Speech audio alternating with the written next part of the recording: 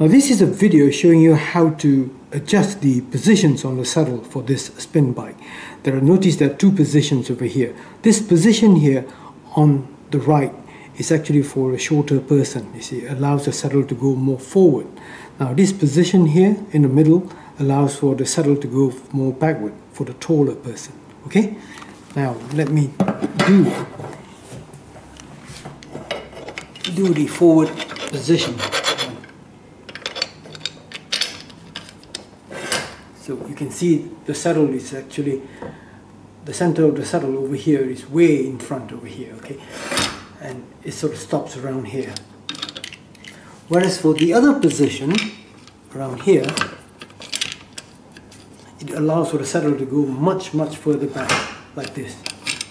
Alright, so two ranges of saddle positions for this particular saddle.